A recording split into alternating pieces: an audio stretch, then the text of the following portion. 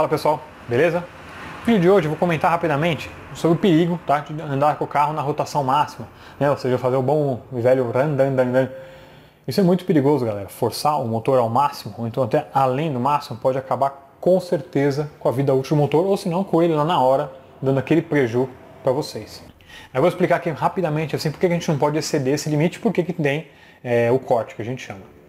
A gente sabe né, que no conta-giro de todos os carros existe uma faixa vermelha lá, que é onde, mesmo se você acelerar, tentar fazer o, o, o no giro máximo, o motor vai ter o corte antes que a injeção ela vai identificar o que está acontecendo e vai dar o corte, não deixando chegar até a rotação máxima do motor. Tá? Mas existe uma certa condição que pode fazer ele chegar lá rapidamente, só bater lá no, no, no giro máximo e ferrar com tudo. Tá? Se você tentar, a injeção não vai conseguir.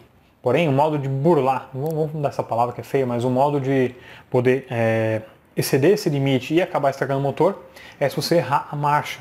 Tá? Por exemplo, você está lá numa quarta marcha, tudo, tá lá, vai a 70 por hora, aí alguma coisa, você, você se confunde lá, não sei como, mas você confunde e engata uma segunda, pô, de 70 por hora, ele vai subir a rotação, e quando ele engatar, ele vai, é, ele vai o carro ele vai estabilizar na, na rotação da marcha que você está colocando, então ele vai bum, e nesse boom que bateu lá em cima, já era. Quebra tudo que pode quebrar e principalmente o que vai quebrar é o motor. Tá? Então é muito cuidado, galera, muito cuidado. O corte é um pouquinho difícil de acontecer, né? tanto que ele tem até uma trava na primeira marcha, você pode perceber aí, quando vocês estão andando aí, tá chegando perto do farol, você solta o neutro, você tem que engatar primeiro, ele não vai, até você tá mais ou menos a uns 10 por hora ali, ele entra. Tá? Isso já é uma proteção para não deixar isso acontecer, certo? Mas realmente essa é a única forma, tá? é conhecida assim, facilmente de poder extrapolar o giro máximo do motor e acabar danificando ele.